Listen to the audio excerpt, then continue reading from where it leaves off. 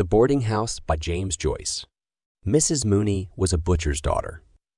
She was a woman who was quite able to keep things to herself, a determined woman. She had married her father's foreman and opened a butcher's shop near Spring Gardens. But as soon as his father in law was dead, Mr. Mooney began to go to the devil. He drank, plundered the till, ran headlong into debt. It was no use making him take the pledge. He was sure to break out again a few days after, by fighting his wife in the presence of customers and by buying bad meat. He ruined his business. One night he went for his wife with the cleaver, and she had to sleep at a neighbor's house. After that, they lived apart. She went to the priest and got a separation from him with care of the children. She would give him neither money nor food nor house. Room. And so he was obliged to enlist himself as a sheriff's man. He was a shabby, stooped little drunkard with a white face and a white mustache, white eyebrows, penciled above his little eyes, which were veined and raw. And all day long he sat in the bailiff's room, waiting to be put on a job. Mrs. Mooney, who had taken what remained of her money out of the butcher business and set up a boarding house in Hardwicke Street, was a big, imposing woman. Her house had a floating population made up of tourists from Liverpool and the Isle of Man, and occasionally artists from the music halls. Its resident population was made up of clerks from the city. She governed the house cunningly and firmly, knew when to give credit, when to be stern, and when to let things pass. All the resident young men spoke of her as the Madame. Mrs. Mooney's young men paid 15 shillings a week for board and lodgings, beer or stout at dinner excluded. They shared in common tastes and occupations, and for this reason they were very chummy with one another. They discussed with one another the chances of favorites and outsiders. Jack Mooney, the madam's son, who was clerk to a commission agent in Fleet Street, had the reputation of being a hard case. He was fond of using soldiers' obscenities. Usually he came home in the small hours. When he met his friends, he had always a good one to tell them, and he was always sure to be on to a good thing. That is to say, a likely horse or a likely horse or a likely artiste. He was also handy with the mitts and sang comic songs.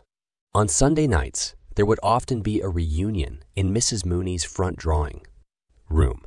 The music hall artists would oblige, and Sheridan played waltzes and polkas and vamped accompaniments. Polly Mooney, the madam's daughter, would also sing. She sang, I'm a naughty girl. You needn't sham, you know I am. Polly was a slim girl of 19. She had light soft hair and a small, full mouth. Her eyes, which were gray with a shade of green through them, had a habit of glancing upwards when she spoke with anyone, which made her look like a little perverse Madonna.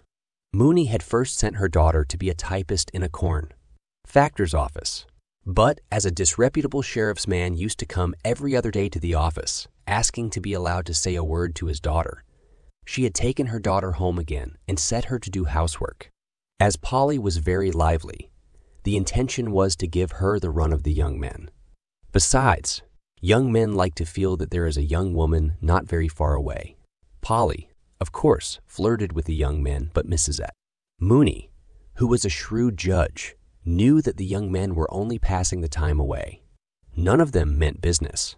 Things went on so for a long time, and Mrs. Mooney began to think of sending Polly back to typewriting when she noticed that something was going on between Polly and one of the young men. She watched the pair and kept her own counsel. Polly knew that she was being watched, but still her mother's persistent silence could not be misunderstood. There had been no open complicity between mother and daughter, no open understanding. But though people in the house began to talk of the affair, still Mrs. Mooney did not intervene. Polly began to grow a little strange in her manner, and the young man was evidently perturbed. At last, when she judged it to be the right moment, Mrs. Mooney intervened. She dealt with moral problems as a cleaver deals with meat. And in this case, she had made up her mind. It was a bright Sunday morning of early summer, promising heat, but with a fresh breeze blowing. All the windows of the boarding house were open, and the lace curtains ballooned gently towards the street beneath the raised sashes. The belfry of George's church sent out constant peals and worshippers. Singly or in groups, traversed the little circus before the church, revealing their purpose by their self contained demeanor, no less than by the little volumes in their gloved hands. Breakfast was over in the boarding house, and the table of the breakfast room was covered with plates on which lay yellow streaks of eggs with morsels of bacon, fat and bacon. Rind. Mooney sat in the straw arm, chair and watched the servant Mary remove the breakfast things. She mad Mary collect the crusts and pieces of broken bread to help to make Tuesday's bread pudding. When the table was cleared, the broken bread collected, the sugar and butter safe under lock and key. She began to reconstruct the interview, which she had had the night before with Polly. Things were as she had suspected. She had been frank in her questions, and Polly had been frank in her answers. Both had been somewhat awkward, of course. She had been made awkward by her not wishing to receive the news in too cavalier a fashion, or to seem to have connived, and Polly had been made awkward, not merely because allusions of that kind always made her awkward, but also because she did not wish it to be thought that in her wise innocence, she had divined the intention behind her mother's tolerance. Mrs. Mooney glanced instinctively at the little gilt clock on the mantelpiece as soon as she had become aware through her reverie that the bells of George's church had stopped ringing. It was 17 minutes past 11. She would have lots of time to have the matter out with Mr. Doran and then catch short 12 at Marlborough Street. She was sure she would win. To begin with, she had all the weight of social opinion on her side. She was an outraged mother. She had allowed him to live beneath her roof, assuming that he was a man of honor, and he had simply abused her hospitality. He was 34 or 35 years of age, so that youth could not be pleaded as his excuse. Nor could ignorance be his excuse since he was a man who had seen something of the world. He had simply taken advantage of Polly's youth and inexperience. That was evident. The question was, what reparation would he make? There must be reparation made in such case. It is all very well for the man. He can go his ways as if nothing had happened, having had his moment of pleasure, but the girl has to bear the brunt. Some mothers would be content to patch up such an affair for a sum of money. She had known cases of it, but she would not do so. For her only one reparation could make up for the loss of her daughter's honor marriage. She counted all her cards again before sending Mary up to Doran's room to say that she wished to speak with him. She felt sure she would win. He was a serious young man, not rakish or loud, voiced like the others. If it had been Mr. Sheridan or Mr. Meade or Bantam Lyons, her task would have been much harder. She did not think he would face publicity. All the lodgers in the house knew something of the affair, details had been invented by some. Besides, he had been employed for 13 years in a great Catholic wine. Merchant's office and publicity would mean for him, perhaps, the loss of his job. Whereas, if he agreed all might be well, she knew he had a good screw for one thing, and she suspected he had a bit of stuff put by. Nearly the half hour. She stood up and surveyed herself in the pier. Glass. The decisive expression of her great florid face satisfied her, and she thought of some mothers she knew who could not get their daughters off their hands. Mr. Doran was very anxious indeed this Sunday morning. He had made two attempts to shave, but his hand had been so unsteady that he had been obliged to desist. Three days' reddish beard fringed his jaws, and every two or three minutes a mist gathered on his glasses, so that he had to take them off and polish them with his pocket handkerchief. The recollection of his confession of the night before was a cause of acute pain to him. The priest had drawn out every ridiculous detail of the affair, and in the end had so magnified his sin that he was almost thankful at being afforded a loophole of reparation. The harm was done. What could he do now but marry her or run away? He could not brazen it out. The affair would be sure to be talked of, and his employer would be certain to hear of it. Dublin is such a small city. Everyone knows everyone else's business. He felt his heart leap warmly in his throat as he heard in his excited imagination old Mr. Leonard calling out in his rasping voice, Send Mr. Doran here, please. All his long years of service gone for nothing. All his industry and diligence thrown away. As a young man, he had sown his wild oats. Of course.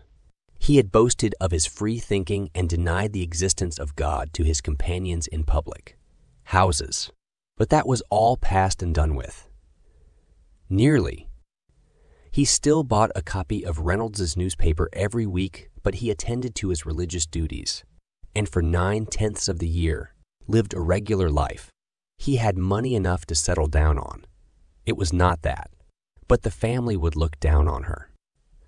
First of all, there was her disreputable father, and then her mother's boarding house was beginning to get a certain fame. He had a notion that he was being had. He could imagine his friends talking of the affair and laughing. She was a little vulgar.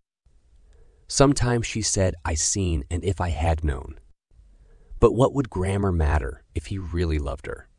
He could not make up his mind whether to like her or despise her for what she had done. Of course, he had done it too. His instinct urged him to remain free, not to marry. Once you are married, you are done for, it said.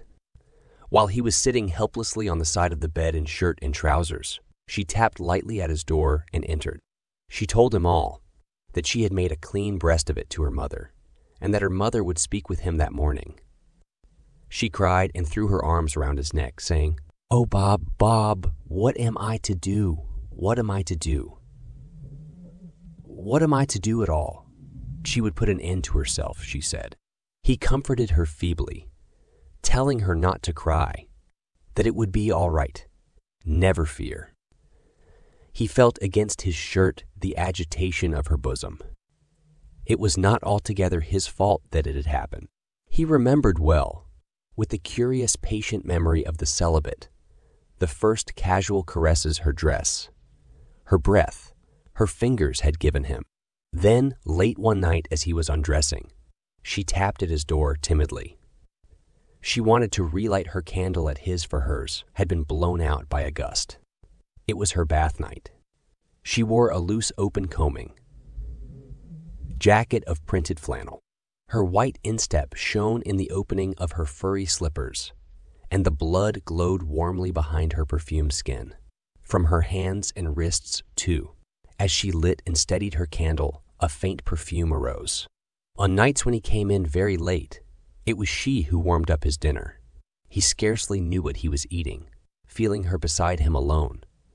At night, in the sleeping house, and her thoughtfulness. If the night was anyway cold or wet or windy, there was sure to be a little tumbler of punch ready for him. Perhaps they could be happy together.